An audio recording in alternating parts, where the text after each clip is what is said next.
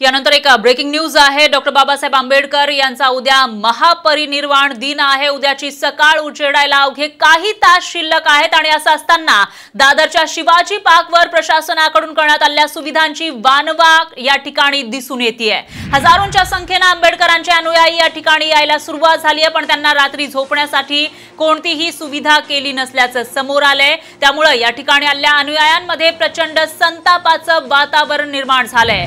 हजारो अनुयायी या ठिकाणी आता ठिया मांडून बसलेले आहेत. प्रशासन आणि सरकारच्या विरोधात रोष व्यक्त केला जातोय.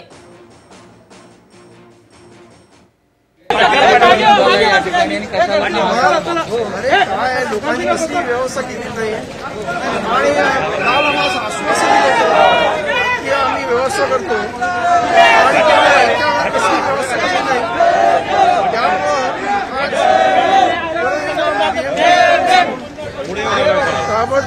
व्यवस्था करावी असं आमचं यापूर्वी बीएमसीला या संदर्भात कळवण्यात आलं हो कळवण्यात आलं काल सुद्धा चर्चा झाली. निलेश जाधवसह सूरज सावंत साम टीव्ही न्यूज मुंबई. तर उद्या महापरिनिर्वाण दिन आहे आणि आजपासूनच हे जे अनुयायी आहेत ते यायला सुरुवात झाली आहे. मात्र त्यांच्यासाठी कोणत्याही प्रकारच्या सुविधा नाही आहेत. आणि याविषयीच अधिक माहितीसाठी आपले प्रतिनिधी सूरज सावंत हे चैत्यभूमीवरून लाईव्ह आपल्यासोबत जोडले गेले आहेत. सूरज काय सांगाल? उद्यासाठी बरेचसे अनुयायी या ठिकाणी आलेले पाहायला मिळत आहेत मात्र त्यांना सुविधा दिल्या गेल्या नसल्याचं समोर आलंय. तुम्ही सध्या काय पाहताय? काय चित्र आहे तिथे? नक्कीच मी शिवाजी पार्कच्या याच चैत्यभूमी परिसरात आहे. मगाशी काही जण रस्त्यावर या मांडून बसले होते. त्यांची गैरसोय झाली होती. या संदर्भातच माझ्यासोबत बोलण्यासाठी या ठिकाणी आलेले काही महिला आहेत. त्यांच्याशी आपण जाणून घेऊया. ताई काय सांगाल? नेमकं काय झालंय? प्रथमतः मी बाबासाहेबांच्या स्मृतीला विनम्र अभि अभिवादन करते. मी स्वाभिमानी रिपब्लिकन पक्षाची तालुका अध्यक्ष आहे. मनोजभाई संसारे. आमचे पक्षप्रमुख आहेत मनोजभाई संसारे. मनोजभाई संसारे आणि सगळे आमची टीम आम्ही जेव्हा किशोरीताई पेडणेकरांना भेटायला गेलेलो तेव्हा त्यांनी आम्हाला विधानसभेमध्ये सांगितलेलं की आम्ही तुम्हाला फूड्सचे पॅकेट्स किंवा जेवण बनवता येणार नाही म्हणून आम्ही फूड्सचे पॅकेट्स आणि लोकांना चांगली सोय देऊ. म्हणजे झोपायला वगैरे लेडीजसाठी आम्ही मोबाईल्स टॉयलेट यूज म्हणजे क- करण्यासाठी हे देऊ की ज्या बाहेरून लोक येणार आहेत त्यांना इथे गैरसोय होणार नाही. असं आम्हाला सांगितलेलं. त्याच्यानंतर वरई पोलीस स्टेशन ल- Lalbaug police station lower Parel police station Delisle road police station या सर्व पोलीस स्टेशनमधून आम्हाला निरोप आले. आम्हाला बोलवणं बोलवण्यात आलं की आम्हाला बोलवल्यानंतर आम्हाला काय सांगितलं? की बाबा तुम्ही इथले नेते आहात. त्यामुळे आम आमचे लोक ऐकणार नाहीत पण तुमचं खूप ऐकतील. तर या या ठिकाणी काय नेमकी गैरसोय झाली आहे त्यावर आपण सांगते तेच सांगते सर. त्यांनी आम्हाला काय सांगितलं की वरळीतले जे लोक आहेत तुम्ही त्यांना थांबवा. इथे येऊन देऊ नका कारण जी बाहेरून लोक येणार आहेत त्यांना दर्शन होऊ द्या. त्यांची गैरसोय नाही झाली पाहिजे. आपण बारा महिने जाऊ शकतो चैत्यभूमीला. मग हे सगळं करताना तुम्ही लाखो लोकांना मुंबईतल्या इथे थांबवताय. पण जी बाहेरून लोक आलेत त्यांना इथे काय देताय? काहीच नाही आहे इथे.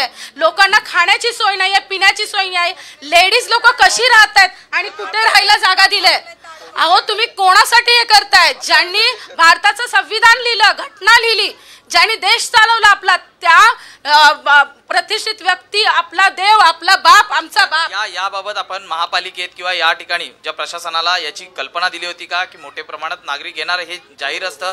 तरी सुद्धा गैरसोय होते काय सांगाल? बरोबर मी सांगते ना याच्यावर. बघा सहा डिसेंबर हा तिथीप्रमाणे येत नाही कॅलेंडरमध्ये जशी दिवाळी दसरा बदली होतो. तसा सहा डिसेंबर ही तारीख कधी बदली होत नाही. मग प्रशासनाने जेव्हा सहा डिसेंबर आलं तेव्हा दोन दिवस अगोदर आम्हाला तिथे बोलवतायत आम्हाला निमंत्रण देत आहेत की तुम्ही या आणि आंबेडकरवाले लोक इथे या आणि आमच्याबरोबर मिटिंग्स करायला बसा.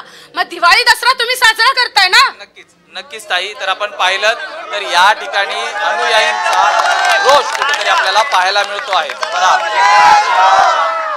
निश्चितच सूरज आपण या अनुयायांचा संताप बघू शकतोय. मोठ्या संख्येनं अनुयायी इथं हजर झालेले आहेत. मात्र त्यांना कोणत्याही प्रकारच्या सुविधा मिळत नाहीयेत. आणि याच्यावर आता प्रशासनाकडून काय स्पष्टीकरण दिलं जातं? प्रशासनानं त्यांची व्यवस्था का केली नाही? असे अनेक प्रश्न उपस्थित होत आहेत.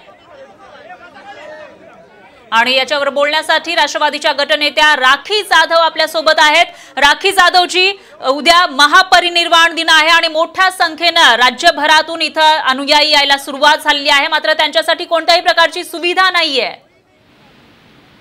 नाही, मला असं म्हणायचं आहे की मुंबई महानगरपालिकेच्या वतीने त्याचप्रमाणे मुंबईचे प्रथम नागरिक म्हणजेच महापौर पेडणेकर.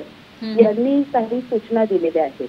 आणि प्रशासनाच्या वतीने येणाऱ्या सूचना या कोविड काळामध्ये गेल्या दोन वर्षापासून आपण त्याचं पालन करतो. पण राखी जाधवजी या ठिकाणी एक प्रश्न आहे. त्यांनी सूचना केल्या आवाहन केलेलं आहे. बंदी घातलेली नाहीये. हो निश्चितपणे बंदी घातलेली नाहीये.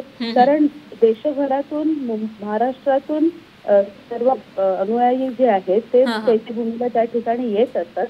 तर मुंबईकरांनी कुठेतरी ह्या गोष्टीला साम- समजून घ्यायला पाहिजे. आपण आपला हा जो राखी जाधवजी मुंबईकरांनी आता एक जी अनुयायी होती तिथं एक नेत्या होत्या त्यांच्याशी बोलणं झालेलं आहे. त्यांनी सांगितलंय की मुंबईकरांना येऊ नका असं सांगितलेलं आहे. मात्र देशातून जे किंवा राज्यातून जे अनुयायी आलेले आहेत त्यांच्यासाठी सुविधा नाहीये. प्रशासनाने मला वाटतं ह्या सगळ्या गोष्टींची त्या ठिकाणी सगळी माहिती घेऊनच ही व्यवस्था केली असावी. आणि जर मुंबईचे बाहेरून येणारे जर अनुयायी असतील तर निश्चितपणे प्रशासनाने त्यांची व्यवस्था करणं अपेक्षित आहे. निश्चितच. राखी जाधवजी धन्यवाद. तुम्ही साम टीव्हीशी बोललात त्याबद्दल. तर एकंदरीतच प्रशासनानं त्यांची व्यवस्था का केली नाही हा प्रश्न या ठिकाणी उपस्थित होतोय. आणि त्यांच्यासाठीची व्यवस्था कधीपर्यंत केली जाणार हाही प्रश्न आहे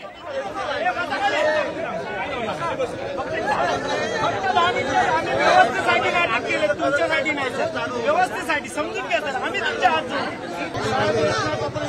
ही ताजी दृश्य आपण बघू शकताय. दादर मुंबईची ही दृश्य आहेत चैत्यभूमी या ठिकाणी बरेचसे आंबेडकर अनुयायी दाखल झाल्याचं आपण बघू शकतोय आणि हजारो अनुयायांनी या ठिकाणी ठिया आंदोलन सुरू केलं आहे आणि त्याचीच एक्सक्लुझिव्ह दृश्य आपण बघू शकताय कारण उद्या महापरिनिर्वाण दिन आहे आणि त्यासाठीच हे अनुयायी मुंबईमध्ये दाखल झाल्याचं पाहायला मिळतंय. मात्र बीएमसी कडून त्यांच्यासाठी कोणत्याही प्रकारची व्यवस्था करण्यात आलेली नाहीये. इथं ज्या महिला अनुयायी आलेल्या आहेत त्यांच्यासाठी सुद्धा कोणत्याही प्रकारची व्यवस्था करण्यात आलेली नाहीये. त्याच्यामुळे ही व्यवस्था का केली नाही असा प्रश्न या ठिकाणी उपस्थित होतोय. सगळ्यांनी